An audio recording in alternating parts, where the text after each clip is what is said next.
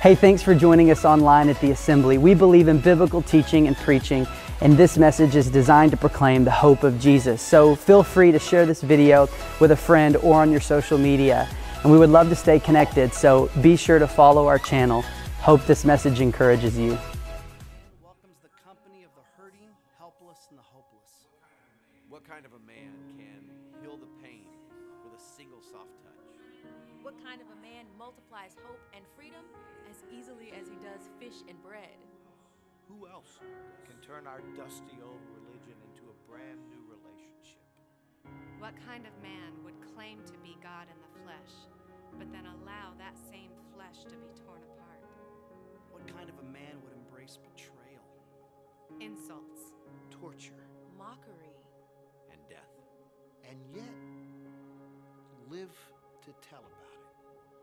Nobody but Jesus. Nobody but Jesus. Nobody. who could speak with such authoritative words and yet drench them with compassion? Who could be strong enough to still the storms, yet be so meek and humble? Who could allow the hands that created the universe to also be nailed into a wooden cross? Who could choose patience despite deserving immediate and complete obedience? Who could be blameless without fault, but still endure the judgment others deserve? Nobody but Jesus. Nobody but Jesus. nobody. Who will love us like him? Who will be with us when all others have left? Who comforts us in suffering? Who is our peace in the midst of anxiety? Who reassures me when my mind is drowning in doubt? Who accepts me as I am with no strings attached? Who else would die for me while I was sinking in sin? Who else can turn the grave into Easter morning? Nobody. Nobody. Nobody. Nobody. Nobody but Jesus. Nobody but Jesus. Nobody but Jesus can do the things that were done. We're in our series entitled Refocus. Last week we looked on looked at refocus on who Jesus is. And today I want us to refocus on what Jesus did. In fact, as you read throughout the Gospels, so many miracles were performed by Jesus, so many lives changed, so many religious views even challenged, and so many captives set free. And who did this? Nobody but Jesus. Nobody but Jesus. And so today we're going to see what Jesus did from the very beginning. And I'm thankful that He is still setting the captives free. He's still saving those who need salvation, and He is still being our Lord and Savior doing the miraculous. How many is thankful that Jesus is still in the miracle working business? So, if you wouldn't mind this morning to stand, we're going to be reading Colossians chapter 1. We looked at Colossians last week and we returned to that passage of Scripture. We'll be reading verses 15 through 17 this morning. I encourage you to bring your Bible and, uh, and take notes. If you ever want my notes to, to use it as devotional or, or to share it with anybody, my notes are not copyrighted. Just let me know and I'll email them to you and, uh, and, and use them if you will. So in Colossians chapter 1, Paul's writing to the, to the church in Colossae, and this is what he says beginning in verse 15 Christ is the visible image of the invisible God. He existed before anything and was created and is supreme over all creation. For through him, God created everything in the heavenly realms and on earth. He made the things we can see and the things we can't see, such as thrones, kingdoms, rulers, and authorities in the unseen world. Everything, say that word with me, everything was created through him and for him. He existed before anything else, and he holds all creation together. Before you're seated, look to someone and say, I love God's word. You may be seated this morning. Jesus Christ did so many things in his short tenure here on earth. In fact, in the three and a half years of ministry, he literally began to change the world. And you say, whoa, whoa, whoa. Jesus didn't change the world? No, the world is continuing to be changed because he sent out the disciples, he sent out the apostles, he's, he sent out his followers, and he's still doing that today. That's why we covered refocusing on our mission, and that is to make disciples who make disciples who make disciples locally and abroad. But Jesus did so many things, and if we're not careful, especially those who have been in church for a very long time, we can take the things that Jesus did for granted. And sometimes we mainly just focus on what Jesus did while he was here on earth and even what he has done in the past in our life. But in our passage, there are a few things written that remind us of some things that Jesus did. And I want us to go all the way back and understand this. What did Jesus do? First of all, in our passage, we see that Jesus, he shaped everything. He shaped everything. In other words, He created everything. He shaped everything. He formed everything. He formed man from the dust of the ground. He, he created everything. We see this in what Paul says in Colossians chapter 1 and verse 16. For through Him, speaking of Jesus, God created, say it again, everything. And I want you to look at this everything in the heavenly realms and on earth. He made the things you can see and the things you cannot see. Every molecule he created, every mountain he created. From mountains to molecules, he created everything. And he continues to say he created everything that we can't see, such as thrones, kingdoms, rulers, authorities in the unseen world. Everything was created through him and for him. Do you think that Paul's trying to get across to uh, the believers in Colossae and also to us today that Jesus created everything and everything was created through him? You see, Paul makes that statement several times throughout that passage of Scripture. But Paul's not the only one that teaches us this. The Apostle John believed it so much that in two different places within the first 10 verses of the book of John, of his gospel, he states this truth. In fact, just him stating this emphatically indicates that this was so important to the apostle that he wanted this doctrine and uh, to be known by his readers from the time that the first person read the, the, the gospel of john until even today when we are about to read what he wrote. He wants us to know that jesus shaped and created everything. Look at john chapter 1 verses 1 through 3 it says this in this version of the Bible that I'm reading out of In the beginning, the Word already existed. The Word was with God, and the Word was God. And from the very beginning, the Word was with God. Through Him, the Word, Jesus Christ, God made all things. Not one thing in all creation was made without him. Capture that. Not one thing that has been created, that has been shaped, it was not formed without Jesus Christ. The Word was in the world, and through, through, and though God made the world through him, yet the world did not recognize him. Scripture is very clear that Jesus Christ created and shaped everything. What did Jesus do? He shaped everything. Look at someone sitting beside you and say, You know what? He shaped you. He shaped you. He's still shaping you. Some of you are like, I don't know how to take that. But Paul also shares in his letter to the Corinthian church, 1 Corinthians chapter 8 and verse 6. But for us, there is one God, the Father, by whom all things were created, and for whom we live and there is one Lord, Jesus Christ, through whom all things were created. Do you see a theme, a continual theme? Jesus Christ shaped and created everything. And when you stop and begin to think about this and what Jesus has done from the beginning of time, it really is mind blowing I, it is for my mind when I began to stop and think. I, I love, uh, we, we were talking this past week in our mentoring group uh, uh, with the staff, and, and, and we, were, we were even, uh, you know, asking, uh, and, and any time that we ask, you know, what, how does God speak to you? How does God reveal his purpose in you? And, and last uh, Sunday we had, we hosted our house um, the life group of young adults, and that was the, one of the questions that they asked. You know, you know, how do you know that God is speaking to you? Does He still speak to everybody? And and it, and we understand that God speaks to us in a lot of different ways. He speaks to us. He's speaking to you now as the preaching of His word is being done. But it came up that God speaks to us through His creation.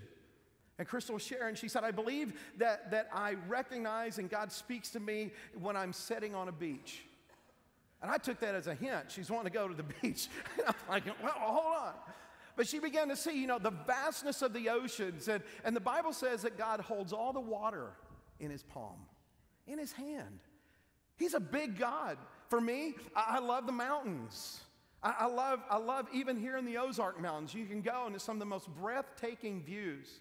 But then when you go to larger mountains like the Rockies and you, are you're, you're, you're driving through the Rockies and you, you just stop and you just look across the valley and see the vastness of the mountains, God speaks to me. And so there's times that we need to refocus on what Jesus did. He created everything. He created everything. In fact, uh, there, there's, there's some interesting things I think sometimes we take for granted. You know, even the air that we breathe, He created. The sun that rose this morning, how many thankful for the sunshine? God created that. In fact, let me just share with you and, and help us to refocus just on what Jesus did. The Atlantic Ocean is approximately 41 million square miles. Guess what? He created it. The Pacific is the largest and deepest ocean and covers more than 155 million square miles. Guess what? He created it. The circumference of the earth is approximately about 25,000 miles. Earth is one planet that revolves around the sun, and, there's and, and it's 92 million miles away. And yet, this morning, we are blessed by the sun rising and seeing it and feeling its warmth. The North Star. I love going out on a cool, crisp night and seeing the stars. And if you haven't done that lately, pause and refocus on the heavenly beings that God has created. The North Star is 323 light years from the earth. And he said, 323 years. No, no, no, no. Light years. That, that means the distance that light travels in one year, and the distance that light travels in one year is 5.88 trillion miles. And guess who created the North Star? Jesus did. Jesus did. Earth is part of, of, of, one galaxy, the Milky Way. How many you feel like you're going back to school right now? This is a review. Don't worry, there's no test. Thank you, Jesus. But the Earth, we're part of one galaxy called the Milky Way, and the Hubble telescope shows and reveals to scientists that there's over 100, approximately over 100 billion other galaxies besides the Milky Way. Guess who created that? Jesus did. He is such a powerful, almighty God. Refocus on what He did. Is your mind blown yet?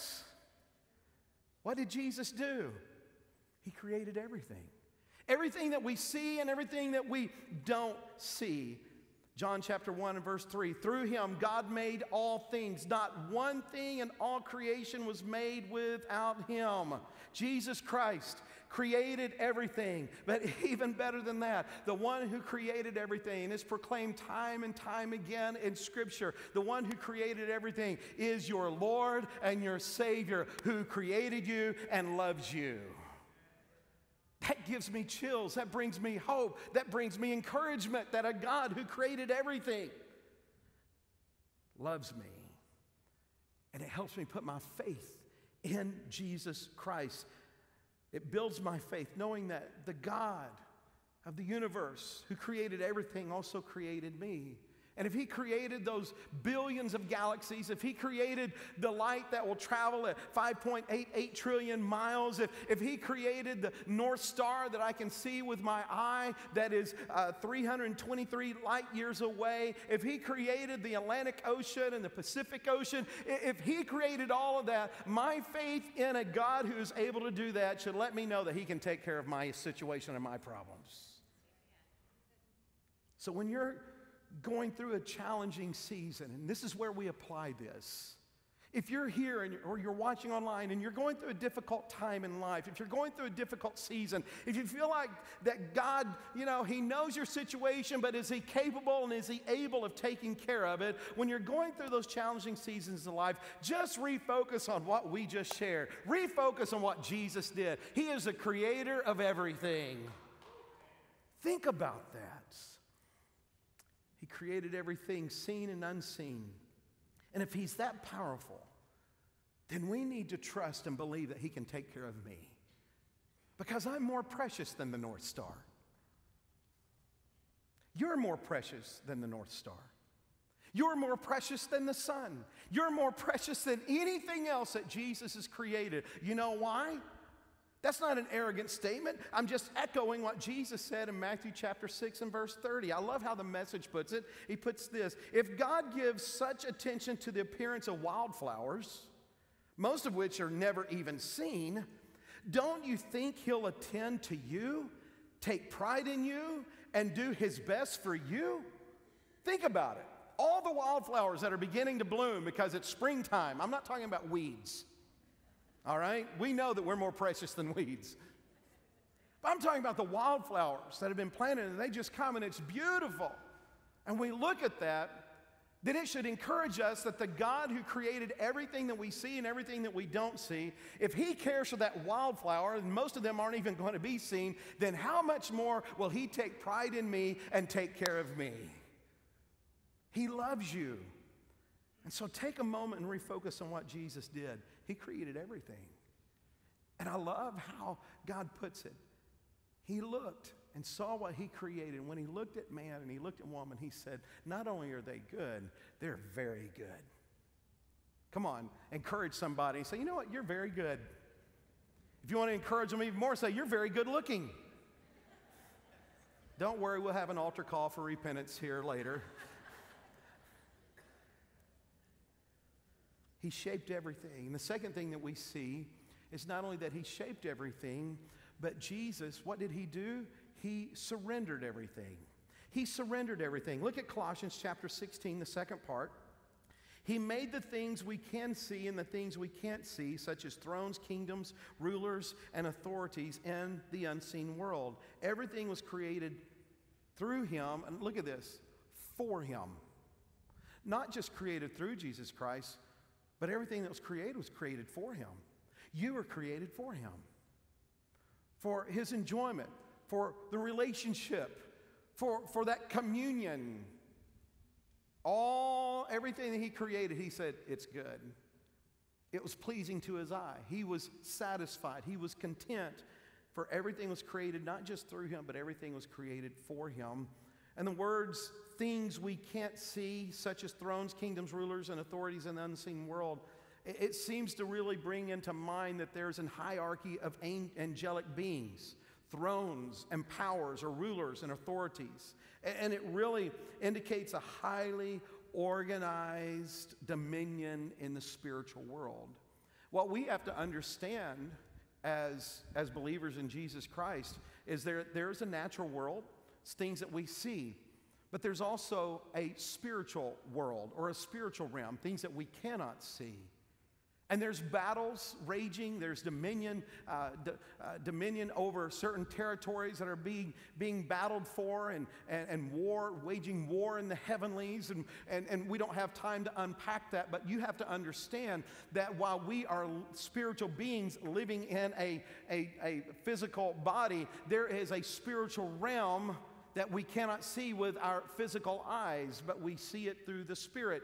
And we see that these thrones and powers and rulers and authorities, they were all created through Him. But in verse 15, I want you to get this He is supreme over all creation. He is supreme over all creation, those things that we see and those things that we can't see. And this is what Paul is trying to teach us today. Everything that he created, he is supreme over everything he created that we see but then he says he's also supreme over those things we cannot see. Every angelic dominion he created, but it's also supreme over it. In fact, if you go back to Matthew chapter 28, this isn't in your notes, but Matthew chapter 28, verse 18, Jesus tells his followers, I have been given all power and authority in heaven and earth. Now, I want you to capture this. If he had been given all power and all authority in heaven and earth, when he came to earth, he gave up his authority. He gave up his authority. We're going to look at this next week in our Easter message, but, but Jesus Christ didn't go rogue. He was following the plan of his heavenly Father. When he came to earth, Pilate said, Do you not know that I have the power to either set you free or keep you and crucify you? And Jesus made this statement The only power that you have is the power that my Father gives to you. And yet, he surrendered that authority and that power so that he would be hung on a cross and mocked and die for you and me. He surrendered everything, he surrendered it all. He had the power, he had all authority in heaven and in earth because he's supreme over all creation. And so when you begin to understand this, Jesus surrendered everything. He surrendered everything. No power, no ruler, no authority could ever overpower him unless he willingly surrendered everything to follow the plan of the Father. Let me just share with you, and I, and I, want you to understand, we cover a lot of scriptures because I figure the Bible has a whole lot more to say than I do. And so let me just share with you in John chapter 10, look at all these different places where Jesus is reminding us that he surrendered everything so that he would follow the plan of the Father and he would ultimately be sacrificed. John chapter 10 and verse 11 I am the good shepherd. The good shepherd sacrifices or surrenders his life for the sheep. John chapter 10, verse 14 and 15. I am the good shepherd. I know my own sheep, and they know me, just as my Father knows me, and I know the Father. So I sacrifice or I surrender my life for the sheep. John chapter 10, verse 17. The Father loves me because I sacrifice or I surrender my life so that I may take it back again. John chapter 10, verse 18. Are you getting the point? John chapter 10, verse 18. No one can take my life from me. I sacrifice it or I surrender it voluntarily, for I have the authority. Look at this. He has the authority to lay it down when I want and also take it up again. So if he has all power and all authority in heaven and earth, and yet he's following the plan of the Heavenly Father so you and I can be reconciled with him, he is surrendering everything so that he can become the ultimate sacrifice so that we can have a relationship with God the Father. What did Jesus do? He surrendered everything. He willingly surrendered everything to do, to come to earth and become the sacrificial lamb. And I believe when we refocus on that, it brings a sense of thankfulness, a sense of devotion to someone who has laid down their life, who has given up everything so that I can live. Philippians chapter 2 and verse 6 and 8 says, Though he was God, speaking of Jesus, though he was God, he did not think of equality with God as something to cling to. He surrendered that. Look at this. Instead, he gave up or he surrendered his divine privileges and he took the humble position of a slave and was born as a human being. When he appeared in human form, he humbled himself in obedience to God and died a criminal's death on the cross. Why? Because Jesus Christ surrendered everything. He didn't have to. He didn't have to. If you continue in our passage this morning in Colossians, in chapter 1 and verse 20, the second part, Paul says once again, and look at this, he made peace with everything in heaven and on earth by means of Christ's blood on the cross. How could God make peace with everything? Because Jesus Christ was willing to surrender everything. You and I have the opportunity to be reconciled with our Heavenly Father because Jesus Christ surrendered everything. So, the one who created everything and everything that was created for him surrendered everything so that he could become the sacrifice that was needed so that we could be forgiven of our sins. So, lesson number one what did Jesus do? Say it with me. He shaped everything. Second thing, what did Jesus do? He surrendered everything. And thirdly, he suffered everything. He suffered everything. Now, today's Palm Sunday, and this is Holy Week. We're, we're, we're focusing on, and I hope that you will take time during your prayer time to read the account of that week's events leading up to the sacrifice of Jesus Christ. This coming Friday, we'll come together and we will remember and reflect on what Jesus went through as we celebrate Good Friday in our service at 6 o'clock. Wednesday night, as we come in, in, our, in our prayer time, we we, we always worship. I share a devotion, and, and we're, we're talking about the Holy Spirit right now. I invite you to come, and we pray. If you wrote your prayer request on that, on that communication card, guess what? Every Wednesday night, unless it's marked confidential, there are about 60 people that come on Wednesday night for our prayer service, and you have 60 people lifting your name up in prayer. If you just need a pick me up, Come to our Wednesday prayer service because not only do we worship, but we look at the Word and we spend time praying. in fact, people, people have told me Wednesday night prayer service is my favorite service of the whole week because it's just a lift, it's, it's a pick me up. And so we are, this Wednesday, we are praying, and we have been praying for this coming weekend Easter events. Our Good Friday service, Saturday night, our celebration Easter service, and we'll have those two identical services Saturday night and Sunday morning. But this week, during Holy Week, I want us to remember what Jesus suffered for you and for me. Colossians chapter 1 and verse 19. For God, in all his fullness, was pleased to live in Christ. You see, Jesus was born in human flesh, but God the Father was pleased to live in him look at this because I'm going to connect the dots here in just a moment. But look at this Hebrews chapter 4, verse 14 and 15. So then, since we, as believers in Jesus Christ, since we have a great high priest, speaking of Jesus Christ himself, who has entered heaven, Jesus, Son of God, let us hold firmly to what we believe. So hold firmly to what we believe. Verse 15. This high priest of ours, and who's the high priest? Jesus this high priest of ours understands our weakness, for he faced all the same testings we do, yet he did not sin. I want you to grasp this. He surrendered everything and he suffered everything. Everything. We just read in Hebrews that every testing, every temptation, every heartache that we go through here on earth, Jesus has suffered the same thing. He said, Well, he's God. He can handle it. He was human. He still was hurt physically and emotionally. And so you, you, you begin to see in verse 15, he faced all the same testings that we do.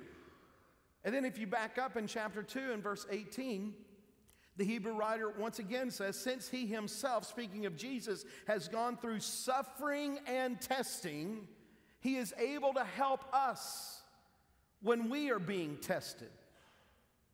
I want you to capture this and catch this. Jesus Christ suffered everything and was tested with everything. Why? So that you and I would have somebody that would know exactly what I'm going through. I, many of you know that my brother was killed when I was a teenager. And so when someone loses a sibling, especially for me, and of course for my parents, when someone loses a child, they can relate. They can relate. I can relate to anybody who has lost a, a brother or a sister. I, I can relate to that. But I want you to, I want you to understand this.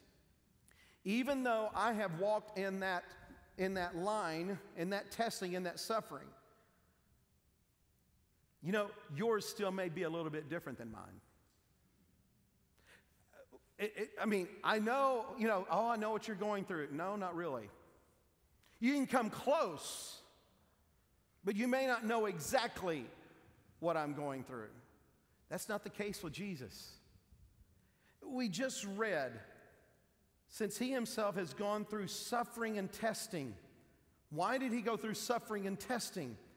So that He is able to help us, us, all of us, when we are being tested.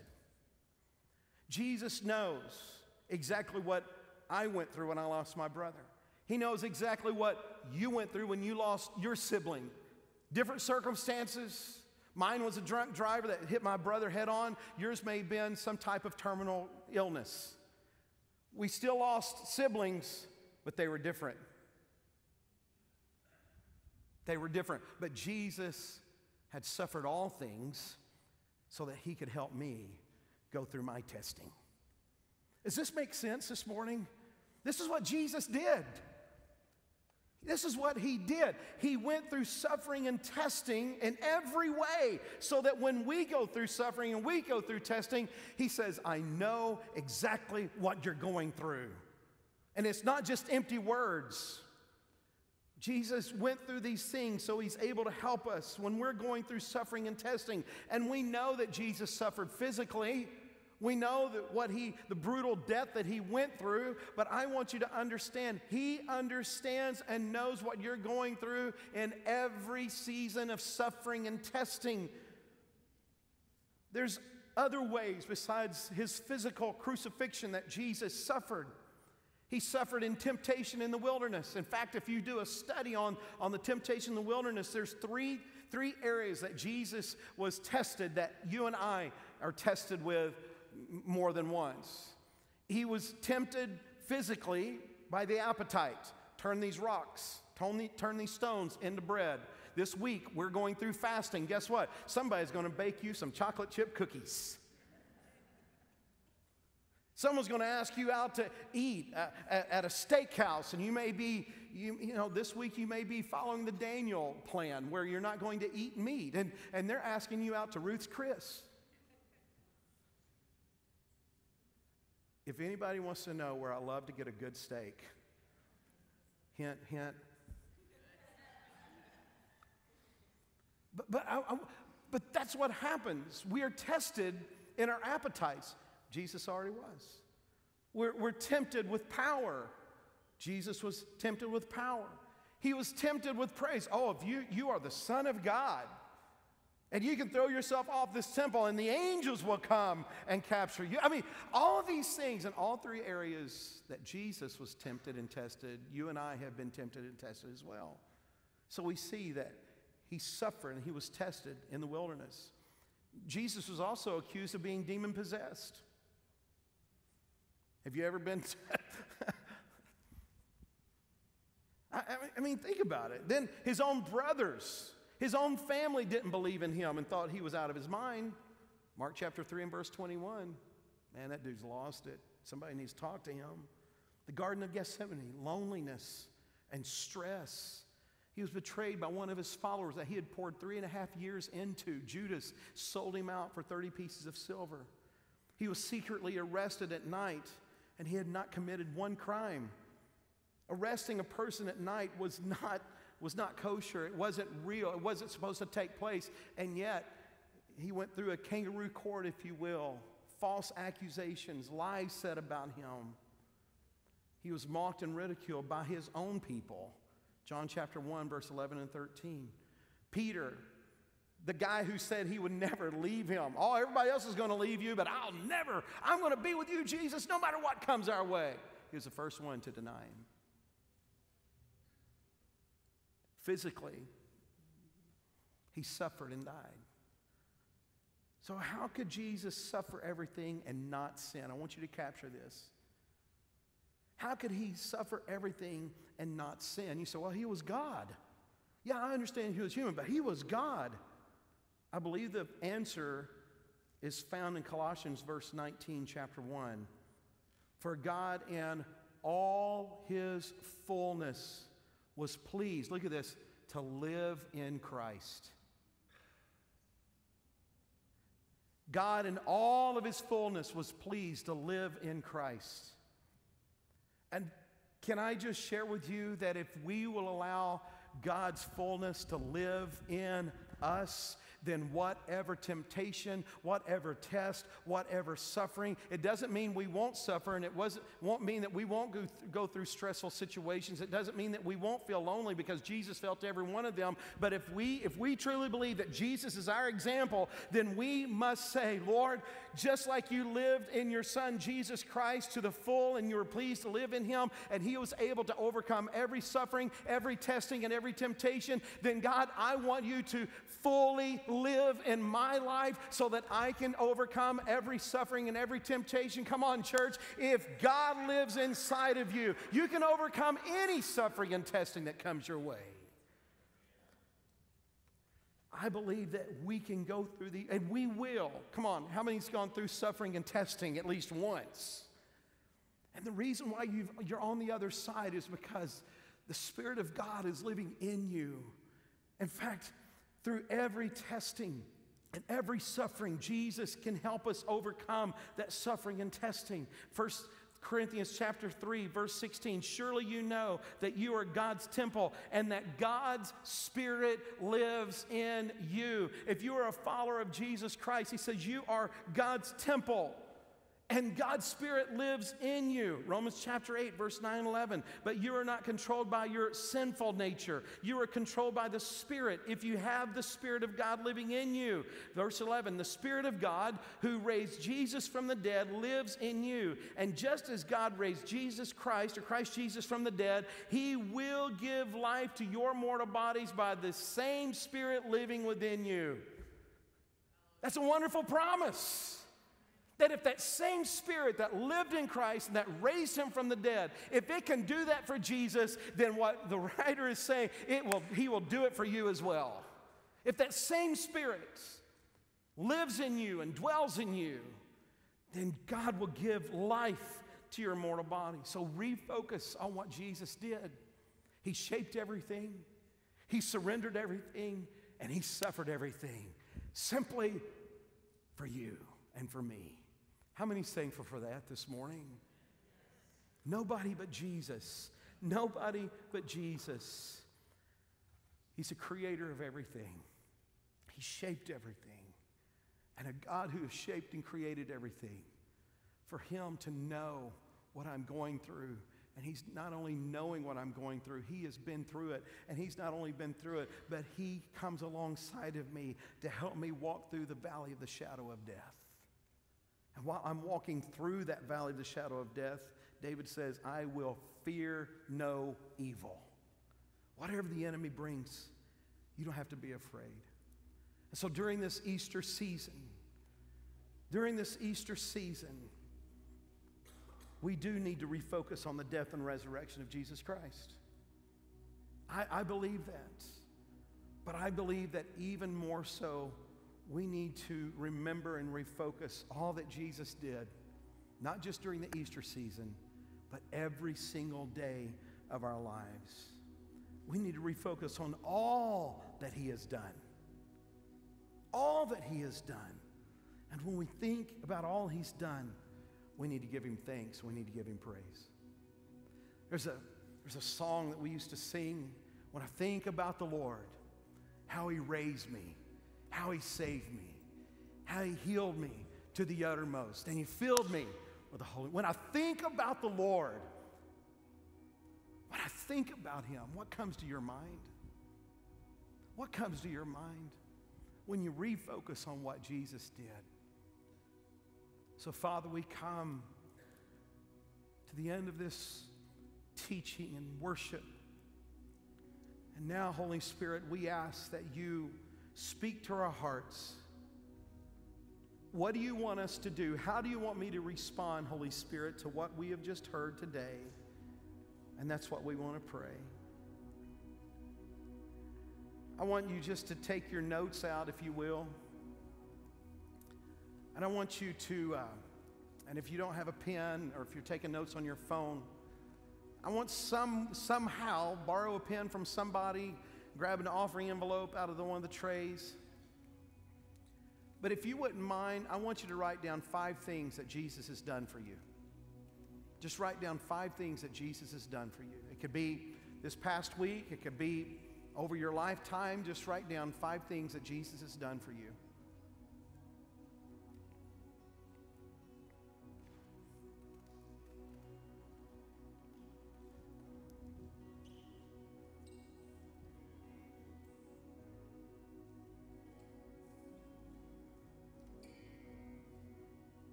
You're watching online, I'm going to ask you to do the same. Just write down five things that come to mind. I know there's more than five. I'm just asking you to write down five things that Jesus has done for you. Have you got them?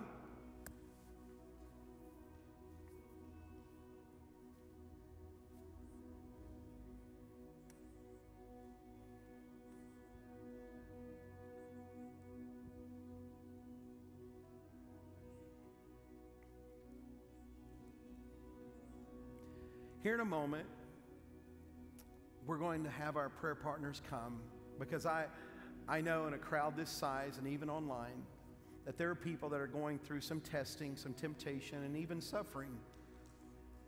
And you know that we, we love praying for people because we believe that prayer makes a difference. And prayer doesn't always give us the answer right at that moment. Sometimes it's a process, and, and that's fine. We believe in, in praying but we have seen people healed instantly. I don't know how all that works, to be quite honest with you. I don't know why an answer comes sometimes instantaneously and then sometimes it takes a little bit. But I do know this we never give up, we keep turning to God. And so, here in a moment, for those that need prayer, and I hope that you will always feel comfortable coming and allowing us the privilege of praying with you if you need healing in your body, if you, if you need wisdom for a decision in your life, whatever it may be, if, whatever, whatever it is, we, we want to pray with you. Maybe you're here this morning and you don't have a relationship with Jesus Christ. And I want you to know one of the biggest things that He did, well, the biggest thing He did is He died for you. He died for you and He rose again. We're going to celebrate that. And so, if you're like, I want to start this spiritual journey, I want to give my heart to Jesus Christ, I want you to come and just, with those that are going to be up here at the front, say, I want to accept Jesus Christ as my Lord and Savior. And they'll answer any questions that you have. We have material that we want to give to you because we believe in taking care of people and helping them and partnering with them along this spiritual journey. But if you have a prayer request and you would like for us to pray, we're going to do that. But at the same time, here in a moment, when I ask you to stand, our prayer partners will begin to come. And if you need prayer for anything, we're going to ask you to come and, and, and just stand along the front. And, and the rest of us, if we're not coming forward for prayer, we're going to take this list, and the worship team's going to be singing. So, so I, I want you to begin thanking Jesus for what he's done. I, I want you just to begin. Thank you, Jesus, for, for whatever you put down, those five things, because before we leave, I want him to know that we know what he's done. And so, are you ready? If you need prayer, we want you, when we stand, I want you to come. Prayer partners are going to be coming with you. But then we're just going to be, we're just going to be give God praise and give him thanks, okay? So, worship team's going to be singing. Don't feel obligated to sing. I want you to feel obligated to give thanks and praise to what Jesus has done. All right? Are you ready? On three, we're going to do this. One, are you ready? Two, be ready to move if you want prayer. Three, come on, let's stand up and let's begin to give praise. Work, prayer team, if you wouldn't mind to come, if you need special prayer, if you desire someone to pray with you, I want you to come and step out. Give us the privilege of praying with you this morning. Okay, church, those that are watching online, I want you to look at that list. And I want you to begin to give thanks and give praise for what Jesus has done all across this building. Come on, let's begin to give him praise. Begin to open up your mouth. Jesus, I'm thankful. I am thankful for what you've done in my life. Lord Jesus, I thank you for my family that you have blessed me with. Lord, I'm undeserving of the family that you have placed me in, but I am so grateful for that. Jesus, I'm thankful for this church. God, I'm undeserving. I'm so undeserving to pastor such a great people. But Lord, I thank you for what you've done. Jesus, I thank you for healing my body. When I was a young child and I was sick, I thank you that you touched my foot. And Lord, I thank you that you corrected it and that I walk normally today. Jesus, I thank you for what you've done. I thank you for what you did. Come on, church, just begin to give thanks for what Jesus has done in your life. Begin to praise him. Begin to give him glory and thank him for all that he's done. Begin to refocus. Begin to reflect. Begin to remember all that Jesus did and has done in your life. Thank you, Lord. Thank you, Jesus. Thank you, Jesus. Thank you, Jesus. Thank you, Jesus. Thank you, Lord. Thank you, Lord. Thank you, Lord. Come on, give him a hand clap of praise this morning. Come on, give him a hand clap of praise this morning. Again, thank you so much for joining us online at the Assembly. We hope this message encouraged you and we would love to stay connected, so be sure to click the link below and contact us. We look forward to seeing you this Sunday.